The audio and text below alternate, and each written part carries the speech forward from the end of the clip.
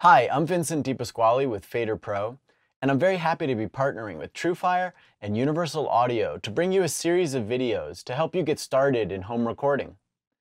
Now is such an exciting time to be creating music, and no matter what your background or skill level, you can quickly learn how to record music. Whether you're a guitarist who likes to just jam, or a band member who needs to get a recorded part to the other members in your group, or maybe you just want to share the music you make with the world, you can do so quickly with just the push of a few buttons.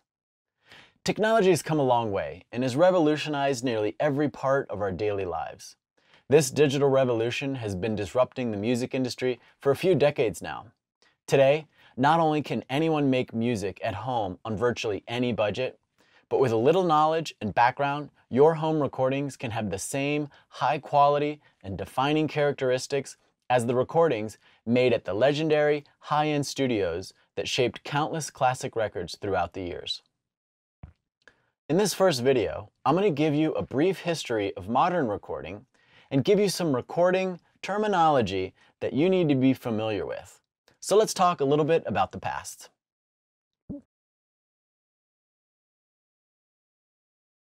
You know, I love history, and I always think it's a great place to start. But rather than just run through a bullet-pointed chronology of technology and techniques, which is beyond the scope of these videos, and honestly, many of which are obsolete today, I'd instead like to give you a brief history of modern recording. Bill Putnam Sr. is considered by many to be the father of modern recording. He was behind many pivotal inventions and many pioneering technologies that truly shaped the way music is made. But not only did he pave the way for generations to come, but many of the things he introduced are still widely used and sought after today. To start with, Bill Putnam Sr. invented the recording console. This allowed multiple channels to be recorded at the same time and utilized his legendary 610 preamplifier, which is an important milestone in recording history. The 610 preamp is considered the holy grail of vintage tube consoles and is famous among record producers for its detail and ability to overdrive signals in a warm and musical sounding way. The original 610 preamp was used on countless recordings, from the Beach Boys' Pet Sounds, to Johnny Cash's At Folsom Prison, to Ray Charles, Frank Sinatra, to Nat King Cole, and Van Halen. The more modern variant, the 610B preamp, helped create new classic recordings by artists such as Adele, Cold War Kids, and countless other recordings, both big and small. You know, reverb is one of the most widely used effects in music production. You're probably already familiar with reverb, which adds space and dimension to a sound. Out in the real world, reverb is the result of sound bouncing off of, of surfaces and reflecting that sound back to our ears. The time it takes that signal to come back to our ears helps us to interpret how large a space is. Imagine closing your eyes and playing your guitar in a closet. Now imagine closing your eyes and playing your guitar in a large cathedral. You could definitely tell just by the sound which one was in the cathedral.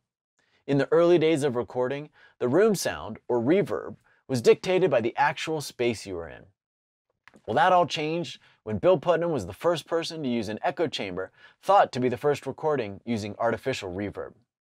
Another technology you're probably familiar with is an equalizer that boosts the bass or the treble of a sound signal. Yet again, Bill Putnam used the first multi-band equalizer in the US and also was involved with two of the most iconic compressors of all time, the Teletronix LA2A and UREI 1176. We'll talk more about what compression is a bit later, but it's hard to overemphasize the importance those two units have made on modern music. In addition to equipment, along with his close friend, none other than Les Paul, Bill Putnam was involved in the early development of stereo recordings and also the process of multi-track recording. He also created the first recording of a single artist singing more than one line at a time in a single recording. He also invented the vocal booth, which is an isolated room in a recording studio that keeps the singer in a separate room from the other musicians for a cleaner sound. That idea was quickly expanded on and now referred to as an ISO booth, or isolation booth, where you can put any player or instrument you want in there to isolate them from the other sounds. In fact, it's common to have a guitar amp in a totally separate room from the player so it can be cranked up louder and not affect the other recorded parts. In 1946, Putnam founded one of America's first independent recording studios, Universal Recording in Chicago, and went on to be one of the most sought-after engineers and producers, a favorite of Frank Sinatra, Nat King Cole, Ray Charles, and so many more. Perhaps The main reason why he's considered the father of modern recording is that almost all of his biggest achievements still play a vital role in the recording of music even to this day. The company he founded in 1958, Universal Audio, was revitalized in 1999 by Bill's two sons, James Putnam and Bill Putnam Jr. Today, Universal Audio is leading the way in cutting-edge technologies that stay true to the sound and spirit of vintage analog and incorporate that in a relevant way for today's digital recordings using a computer. Later on, we'll take a closer look at some of these technologies that are still revolutionizing the way we make music today.